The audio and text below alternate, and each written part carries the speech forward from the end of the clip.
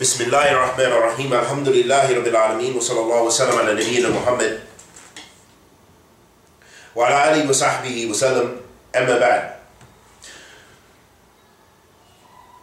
In the seventh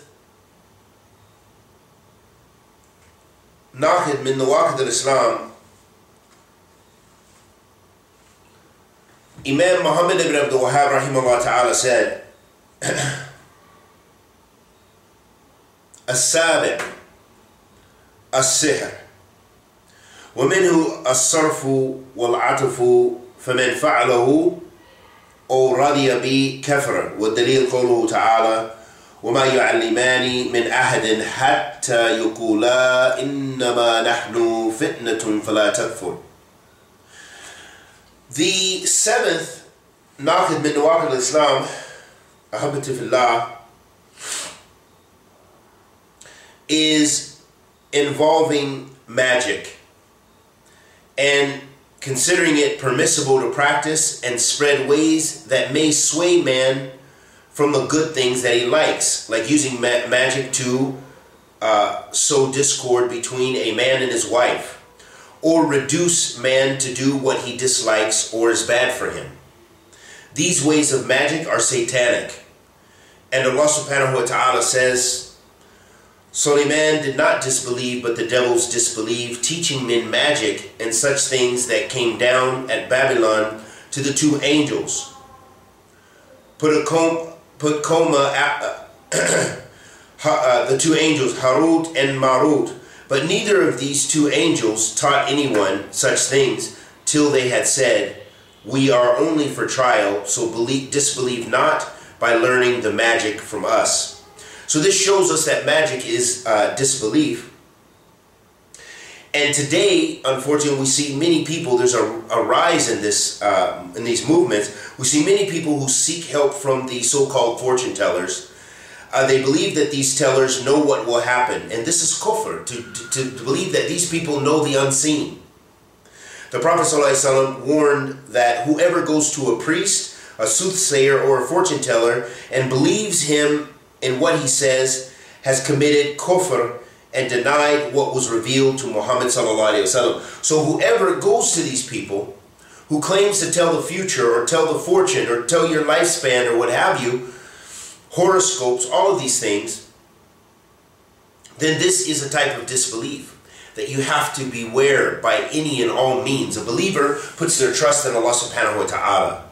And the believer avoids this, and that ayat illustrates for us that this that magic is uh, disbelief. And the fuqaha have agreements on this uh, with some details. I believe it was Imam Shafi'i or Imam Malik, rahimahumullah jami'an, uh, that mentioned a particular type of magic being that which uh, I believe is either kufr or takes fold of, a person out of the fold of Islam, and I don't recall the, the details right offhand, but it illustrates for us the importance of avoiding any and all forms of, of, of shirk, but in all forms of magic. And I want to make a quick tanbeeh uh, regarding this issue. There was a particular uh, da'i, person who calls to Islam, that is even known as being a talib al-ilm, a student of knowledge, but however this individual was doing magic tricks on the on the internet, on the YouTube, pulling a rabbit out of the hat and doing things like this. This if you put the best spin on it, this is not something that a student should be doing, a person of religion and a person who uh, is representing Islam should not be playing on the on the fence like that, on the borderline. Whether you try to defend those actions and say, well, it wasn't actually magic, it's just a type of tricks or what have you, whatever the case may be, and Allah subhanahu wa ta'ala knows best, that is very dangerous and serious. And those kind of doors should be cut off, especially for the people who are people representing the deen and represent representatives of the uh, the Muslim community that they should know better and cut off and close those doors. And so it's very serious uh, that we avoid any and all forms of magic. And another, uh, a true situation, I used to sell uh, body oils and, and so forth, and perfumes, fragrances uh, in the mall. And I recall uh, a woman, she came to me, and she was a, a Wiccan, which is a pagan, a revival of a pagan uh, re- religion and that's what they even refer to themselves as pagan. They take pride in, in saying, hey, we're mushrik. And it's becoming a, a, popular and growing trend in the West because it's, it's trendy. And so people are looking for other alternatives, I guess, to Christianity and, and, and other faiths. And so they are taking some of the most severe shirk. So she came to my, my stand and she said, uh, I want a potion you know, I want something that's going to basically almost, if I recall, it was exactly like uh, uh, was warned against in this treatise that she wanted something that was going to cause two people to to love one another or something like a love potion or something.